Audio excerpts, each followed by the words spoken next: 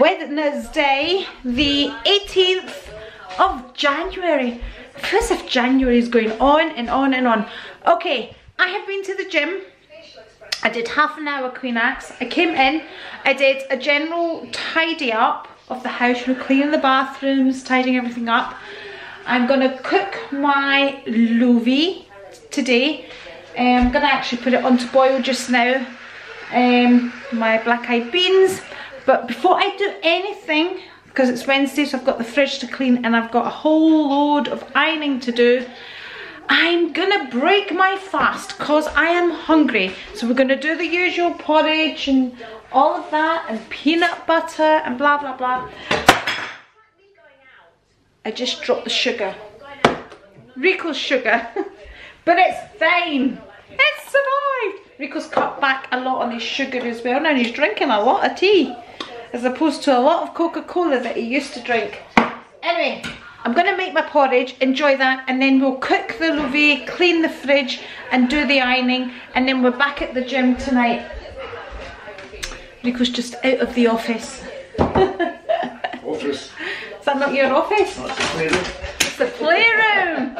I'm trying to rename it. Also, I have a bag here, a Zara bag, with, these are all the things I keep in my car. But the wee bag, the organizer bag that I have, um, something spilt in it. It was, uh, uh, what do you call it? A sunblock that I had in the in the bag, and it kind of I don't know what happened. Anyway, so I'm washing the bag. It should be dry. I washed it yesterday, and I've just kind of put all the stuff in there just now. We'll go through it after when I'm filling it up. We'll see what I keep. So just in case bag that I keep in the car, but we'll go through that once I've had my porridge. There's not a list here. Right, Lily and I. I'm gonna start cooking up my Lily I'm in one of those moods. I can't be bothered doing anything. I just want to cuddle my dog. Look at my beautiful doggy doggy doggy. Look at my beautiful beautiful doggy. Right. So I'm now gonna get them them on and um, then I'm gonna fill my bag then I'm going to clean my fridge then I'm going to iron and I also want to edit what do you want to do? You just want to cuddle me? Do you? Oh my baby oh my baby right I'm gonna have to put you down. She's just so cozy. I don't want to put you down. Right I'm gonna have to put you down because I really need to get this done. Right let's roast these yes I have I have the sweatshirt on. Okay.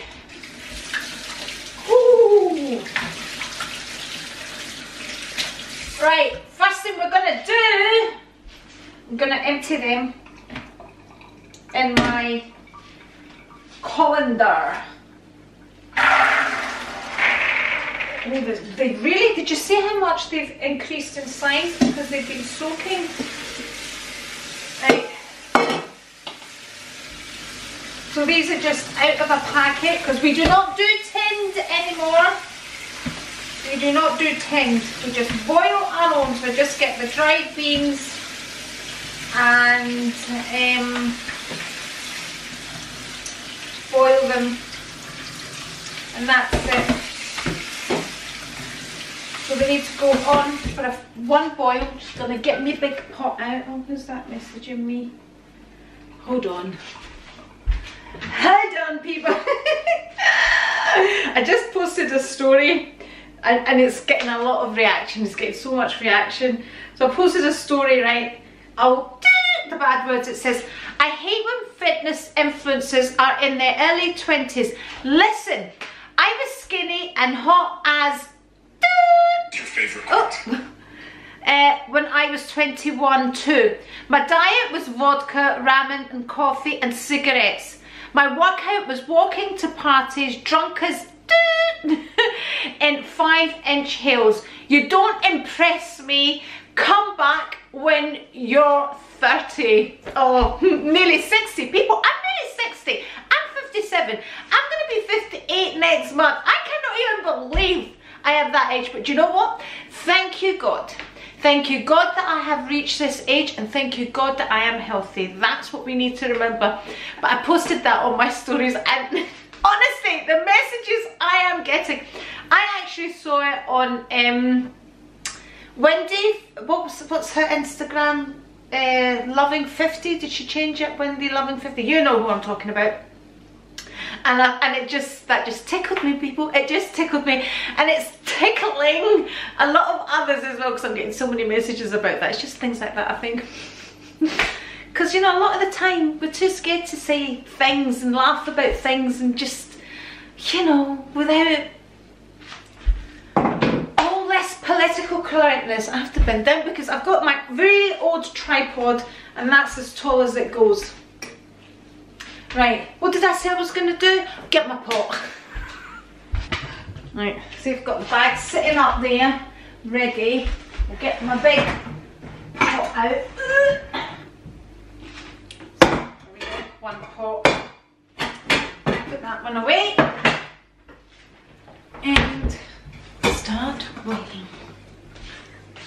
Rico's just uh, popped out to pick up some shopping. Oh, I asked him to get me a cabbage because I'm going to make that sauerkraut. Honestly, it gives me the... See all that? Touching, touching the vegetables to try and release the juices. Rico's saying to me, why are you even going to make that? You are not going to eat that. Uh, do you know who I blame? right? Apart from all these doctors that I've been watching and they've all been saying how amazing it is for your gut health, Patricia messaged me and says she makes her own. So I'm going to try it because I'm thinking if I make it myself, I'll get Rico to chop it all up. It's, it's easy, all you do is fermented cabbage people, but it's all this, uh, mushing it all up, right, with salt, to release the juices and then you squeeze it into a jar, right? And then so it's kind of sitting in its own brine type of thing. Then you leave it for about two weeks and then you eat it. It's, it's not even, it's, it's just this mashing of the, I've, I've got a thing about vegetables so um, I cannot touch, um, I can't eat fruit that somebody else has cut. I just can't do it. Or that that somebody else has peeled. So if somebody peels a tangerine on, and an orange and hands me a piece, I can't eat it. It's one of my things. I'm sure I've told you this before, but got, I'm really funny about vegetables and fruit. I'm really, really, really funny about it. Anyway, it's just one of my weird things because people, we all know I'm a weirdo. right, let's get the beans in here. So Rico's away to get the cabbage, put petrol in my car, so he's away with my car. So he's away to put petrol in and pick up a few things that we need. So yeah, let's fill up this. Remember never add salt to pulses because it keeps them hard. That's that. We're just going to do a first boil empty, reboil, and then what I'm gonna do is, once they're cooked, I'm gonna fry them in olive oil, garlic, and onion. People, yumminess. And then, if you're gonna be naughty, just heat up some bread, some oh I need to phone Rico, I don't seem to have any sourdough, I've always got sourdough in the house, I don't seem to have any sourdough. We need to get him to get some sourdough and then you dip it in the olive oil, but I'm going to avoid doing that. get that on the boil and it's as easy as that. Hi, you're in my dining room, so if you were sitting having dinner, this is where you would normally find me chatting through here, going hi. Well, normally I'd be sitting down and Rico would be doing everything, if truth be said. Right, my organiser. I have my Oroton pouch, which came all the way from Australia from my friend Mimi, in here. And I've just thrown things in there that I keep in my car because I am, people, that just in case person. I always have been, I always will be. Right. I have a straw in there. I have Compeed, just in case I get a blister. I have a Chanel foundation. You never know. I might need one. Okay. I'm to separate them as I put them down as well and put them away. I have a pen.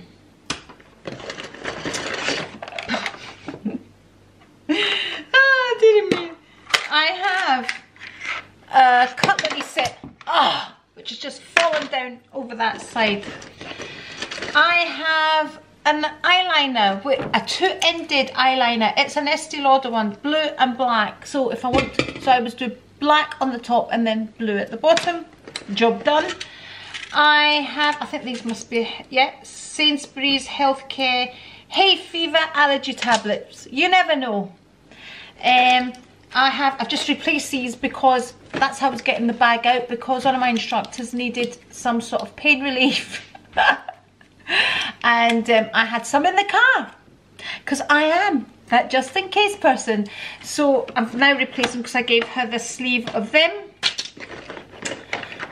I have some Rescue Remedy Comfort and Reassure. Do you remember when I used to have a lot of anxiety? So I've just put that in there now. I even have sweeteners. You know I would not touch these, people. I would never ever touch these. In fact, I'm not putting them back in there because I wouldn't even recommend them to anybody. So I wouldn't even, if somebody says, I need a sweetener. No, it's not to happen. But there was a time when I used to take sweeteners. I have here, right, what are these called?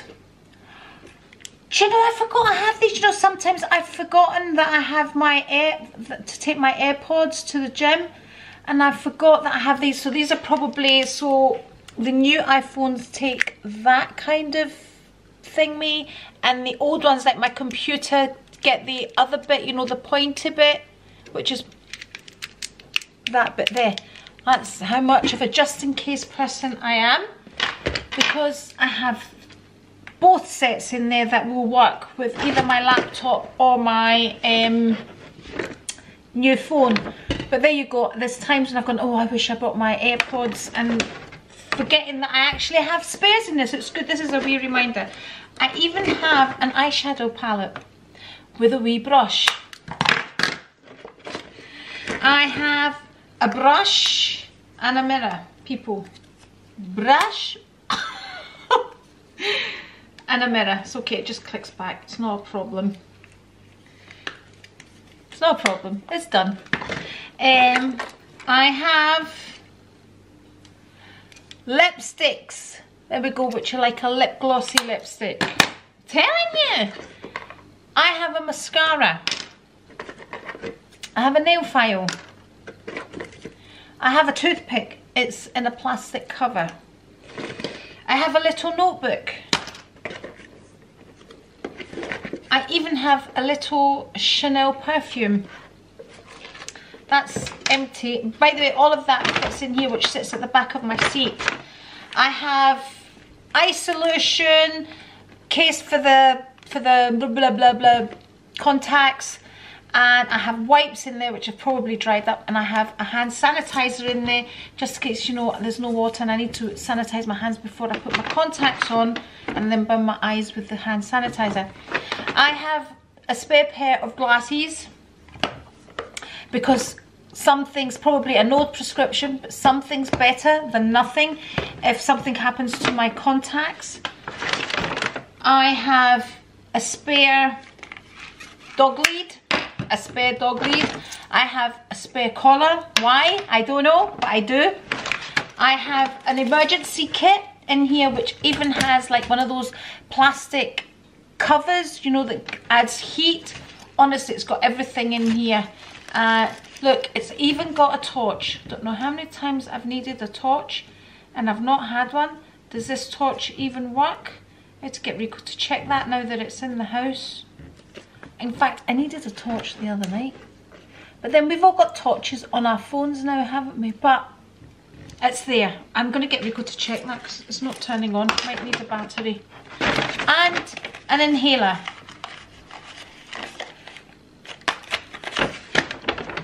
And is that a receipt? That must have been, oh that must have been for whatever, I, oh that was when I bought my um, body the other day. Yeah, I'm a see-through body.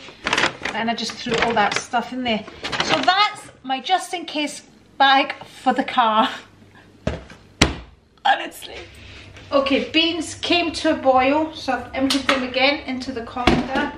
I'm just rinsing them all off and then put them back in the pot, give them a good rinse and boil again.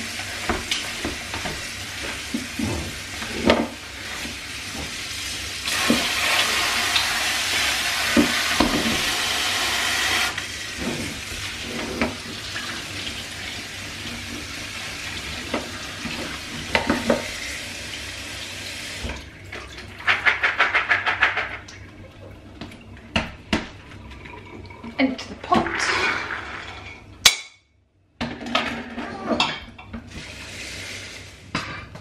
Okay, that's everything in there. So I have my pen, I have my notepad, my earphones, I have the anxiety thing, the rescue thing, and the Compeed in there together. Uh, glasses. In here I have the tablets, painkillers, and antihistamine. Here I have the, what do you call it, inhaler and I keep it in the box for the date and all of that. And then in here I have the first aid kit which has, honestly it has everything in there. Um, hair ties and a safety bin, safety bin, a safety pin just clicked onto that bit there. Not really put, there's a pocket in there. I haven't really, because I've just put everything in there. I might put the knife and fork in there. And then I'm just going to set Lily's lid on top of there and that's it. Oh, I left the straw out. Let's get the straw put away. That's basically it.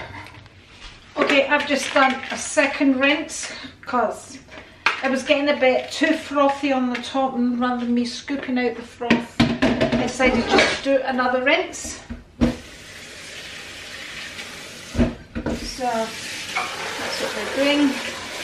Rinse them again and this will be, the, I'm just going to simmer them now, I'm not going to put them on boil. And then add some greens to it as well, but still too early because they're still quite, um, they're starting to soften but not enough. Right. Back they go. Right. Now it's time for the fridge. This is what keeps me going all day, people. This is this is my life. right, let's get a clean cloth, get my spray, get my things done. Everything is cleaned and ready to go back in.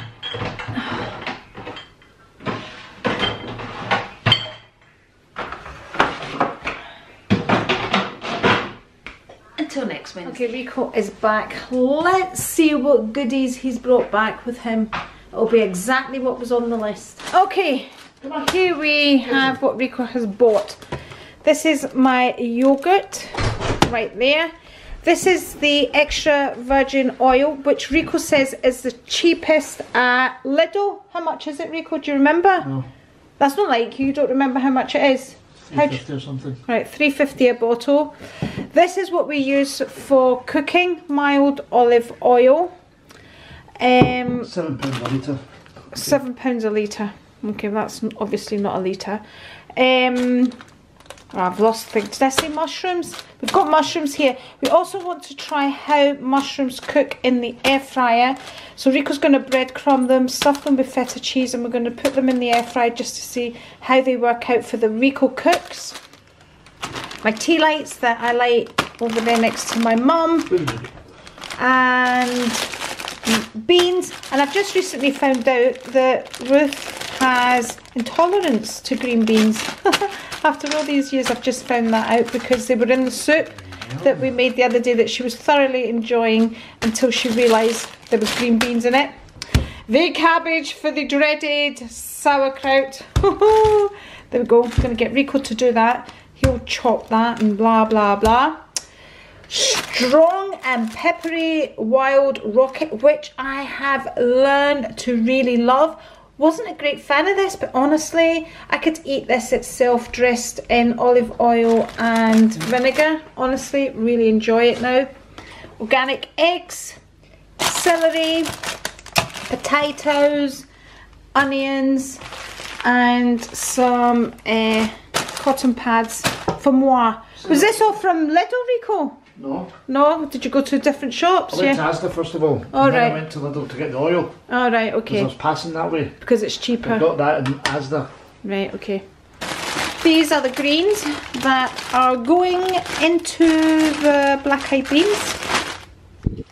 We are on the last item. That was a hefty bit of ironing, people. It's, I'm going to finish it off. I've had a couple of them I, I actually. Rico's whites, that's what he calls them. His whites, his chef jacket. So we've had the trousers, the aprons, a few jackets. Honestly, but I do quite often get comments on how easy I make ironing look. Like these sorts of things, shirts and um, Rico's chef's jackets. People, it's two reasons. Years of experience. I brought up three sons who all wore shirts. So I've been ironing shirts for a very, very long time. Plus I do have a powerful um, iron as well. I'll tell you a story were talking. Did I say powerful? Yeah, a powerful iron. Did I say that? I don't know. Uh, I'll tell you a story. Because I was bringing up the boys. Oh, goodness sake, the battery. I was bringing up the boys, I'll say it quickly. I was bringing up the boys, ironing, working, blah, blah, blah, blah, rushing through the ironing.